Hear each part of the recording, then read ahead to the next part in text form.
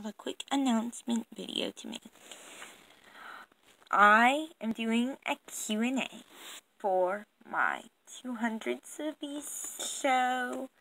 So, all you have to do is think of a question to ask moi, Lily Blossom. But it can't be personal.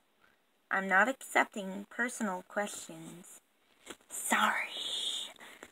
So, it can be anything. It can be about ponies. It can be anything but personal questions. It can be about, like, what's your favorite color? What's your favorite food? Like, that kind of things.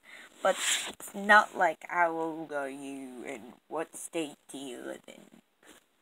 So, please, don't ask how old I am or what state I live in stuff like that. But anyway, ask me ask me questions. You may get your name said in my 200 subby special. So!